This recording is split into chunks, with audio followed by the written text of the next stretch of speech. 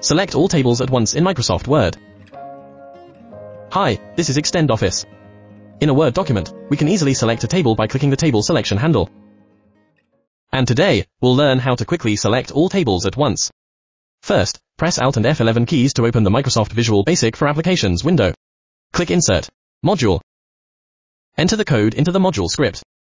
Click the Run button to run the code. All tables in the current document will be selected immediately. Kutools for Word provides a more intuitive solution to select all tables in a selection or the whole document. To select tables in a specific range, select the range first. To select all tables in the entire document, do not select anything and click Kutools. Tables. Select Tables.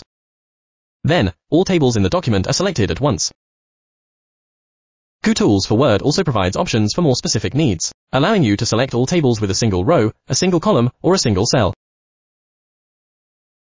To download Kutools for Word, find the download link in the video description or on our website. Thanks for watching. If you like this video, make sure to subscribe for more.